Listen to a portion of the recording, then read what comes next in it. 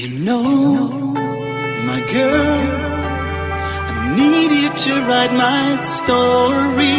You love to fly, but now you are by my side. It's you.